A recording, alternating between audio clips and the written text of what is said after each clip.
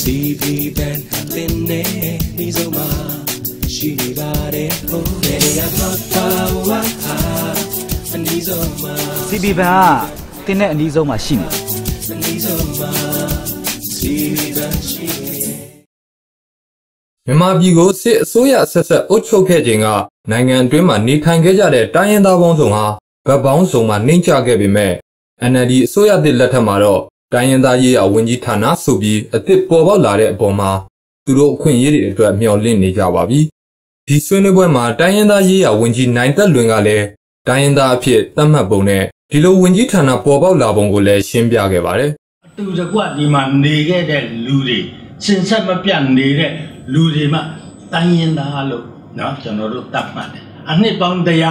200နော်ဟောနိုင်ငံဒီနိုင်ငံပြောင်းလာတဲ့လူမျိုးတွေဆိုလို့ရှိရင် ကျွန်တော်တို့ကဘယ်တော့မှတိုင်းရင်သားလို့ကျွန်တော်တို့မတတ်မှတ်နိုင်ဘူးနိုင်ငံသားပဲသို့မဟုတ်အဲ့နိုင်ငံသားပဲเนาะကျွန်တော်တို့အခြေခံဥပဒေမှာလည်းရေးဆွဲထားပါတယ်ဒါဆိုရင်ဟုတ်ပုံနာတို့ဟုတ်ကရခါတို့ကိုရကလာဟုတ်လူဟောဒါပြိချရာမင်းသားဟုတ်မကန်ခိကတဲ့နေတဲ့လေလူကတိုင်းရင်သားလားတိုင်းရင်သားဘယ်လုံးမှလည်းမဖြစ်နိုင် အသစ်ဖွဲ့တဲ့တိုင်းရင်းသားရေးရာဝန်ကြီးဌာနမှာ တိုင်းရင်းသားတွေကိုဦးစားပေးခန့်ထားဖို့ရှိနေပြီးဝန်ကြီးဌာနဖွဲ့ပြီးသိမ့်မကြခင်မှာပဲတိုင်းရင်းသားတွေဘဝအမြင့်တင်ပေးဖို့နိုင်ငံတကာကလာရောက်တွေ့ဆုံမှုတွေလည်းရှိနေပါတယ်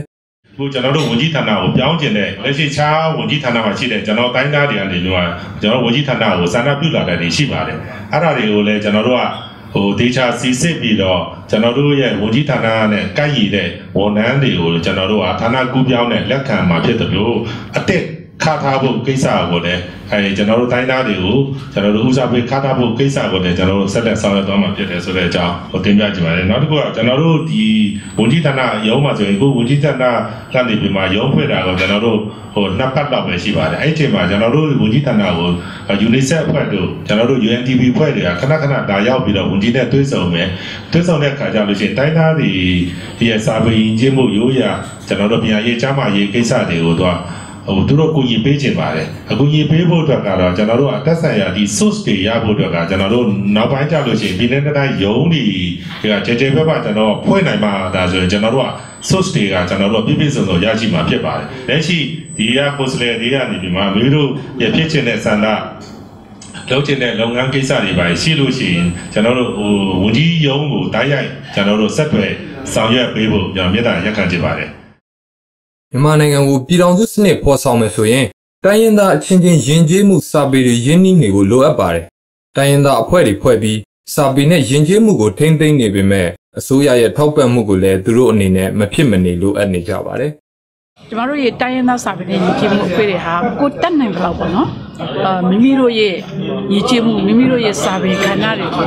တတတ် အားတော့ပေါ်ဆောင်နေတဲ့အခွင့်တွေဖြစ်ပါတယ်ကျမတို့နိုင်တဲ့လောက်ပဲလုပ်နေရတဲ့အပေါ်မှာအခုလိုတိုင်းရင်းသားရေးရာဝန်ကြီးအခွင့်အနေနဲ့ပါဝင်ပြီးတော့ကူညီပေးမယ်ဆိုလို့ရှိရင်ကျမတို့ဘက်ကလည်းပို့ပြီးတော့လုံနိုင်တဲ့အခွင့်အရေးတွေရှိလာပါပြီကျမတို့ရဲ့တိုင်းရင်းသားလူမျိုးတွေဟာတအို့ရဲ့ယူကျင်းမှုစာပေကိုတအို့က